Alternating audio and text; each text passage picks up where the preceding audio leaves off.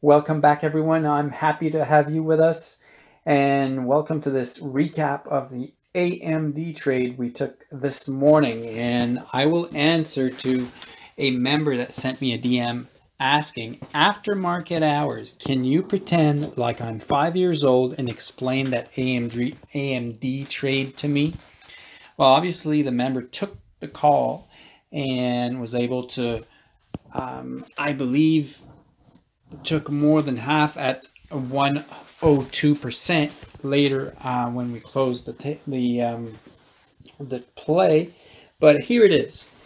Basically, you see this morning it was upgraded. It was upgraded uh, nicely by, if I recall, BMO. Um, I'd have to check my notes for that.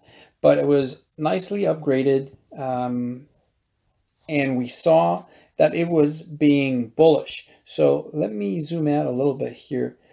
So this is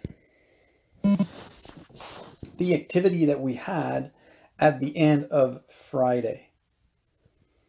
Now what we have on Monday morning is this nice upgrade and this is what we have early in the day before 7 and then it starts sinking to a certain point and what was uh, drawing my attention and what I usually look for is a break above this line.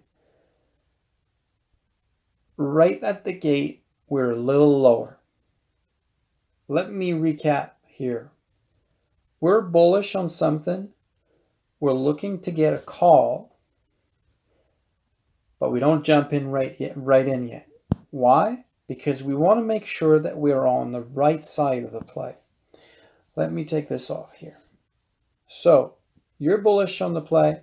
You need to wait for something. So this here was support. You know that it's support for last Friday and it's support for pre-market. Let's See what happened? It started to sink even further we were in the 109 area here, and then it started sinking even lower. So you wait.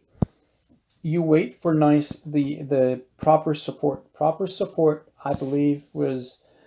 Um, I'll show you a little later here. But the idea is this: you don't jump in right in. You don't jump in right yet, at, right at the gate. Why? First, you have this line here. This green line is a 200 EMA. So a lot of computers will follow the 200 EMA, reject it, or bounce on it. But in this particular case, we were just a hair below the pre-market activity. So basically it's telling you that you are not in new money because this is old money and you're not in this territory here in the new money territory. No, you're still in old money territory. So as long as you're inside this area, basically, to me, it's just chop, right? So you don't want to get caught in there. Let me take this off. Now, what do you wait for? Basically, because we're bullish, I'm not sure we're going to get as low as the lowest support. This is the one minute. You know I like to have this line, the neon green line, I don't know if you see, you guys can see it properly, but this is the neon green line. This is the TEMA on the 30 length. What I like is to get across or above it. Sometimes I don't really mind anticipate it, to anticipate it, but right here, we're bullish on the play, but it's tanking hard. And see the wicks we have. So basically wicks are people buying the bottom. So people are buying here, people are buying there. So basically at 940, this is where I thought we were going to get going on the other side because we're not getting lower. We have this attempt to get higher, but this is going lower and then this you know when you get a doji like this it's indecision you know it's not going up it's not going down it's indecision and the next one over it's starting to be bullish See this one here? Started to be bullish. Okay, it rejected the point, this point, and then right up it was bought. And you saw that it started going up afterwards. But my point was, where did I get in? This point. And let me get you on something here. Why was I looking at that line here? Now, see this activity?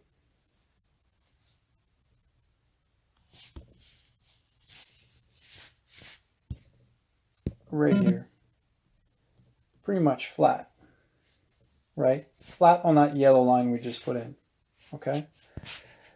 So this means that it's either support or resistance, but it's a line where you know people are either buying or selling, but exchanging a bag at this level. And basically that's the level we were at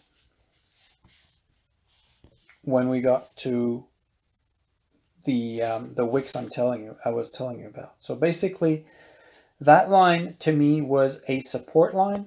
So we jumped in it right. Let me get this here. It would have been just before that. I believe it was 941, so it's just before that. And then we started going up. What I like to see is, you know, I took the 115 calls because I believe 115 had a shot. But when we look and when when we get in, I always follow who else is getting in at that strike, and we saw that more than a thousand, I believe, a thousand seven hundred calls were taken um, around this area. So basically, we were not the only ones bullish on the play. And why did I call the one uh, 11.5 target? Well, same thing. we know we will at least try to get to this area, right? We will at least try to get back to a test of the new money. So here we did not find any new money and right at the gate we did not find any new money. So basically this line becomes your support line.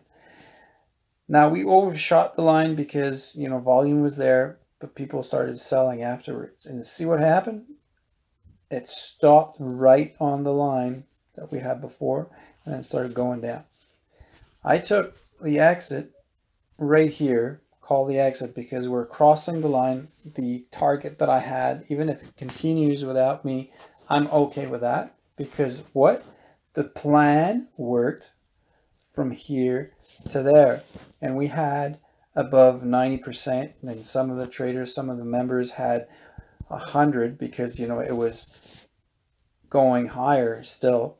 So the idea was to stick with the plan. I'm still okay. And the good part about leaving um, some runners is it can continue or it can sink and you're still green because taking half out or more out when and and leave runners on basically the, the initial investment that you had is no longer there. So basically the money, the money that is in the market is free. So just to recap, the initial thought and the initial belief on on AMD was bullish. We saw that the pre-market activity came to an halt right at the um, right at the at the bell. We're not going higher than the pre-market activity. So this means that we will probably look for support lower. How low? Well, it all depends on the previous support. There was support at 107.5. Um, but if we had, um, let me show you where.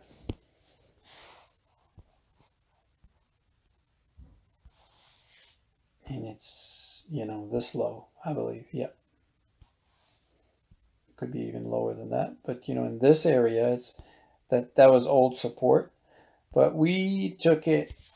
They took it down to um, maybe a little higher than that. The idea was to look at the wicks. Wicks are bottom getting bought.